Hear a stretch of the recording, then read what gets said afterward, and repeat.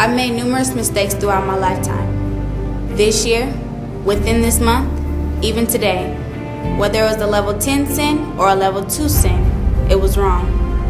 You removed me from dangers and brought me over mountains, and yet I still haven't taken the time to give you thanks. Please forgive me. You've healed loved ones of mine. You've patched up holes in my heart countless times. You've even redirected my life when I was clearly blind, and I took your love for granted. Please forgive me. You have provided everything that I need plus more each and every day. You've explored mercy on me in many ways, and yet I'm still having a hard time giving you what you deserve.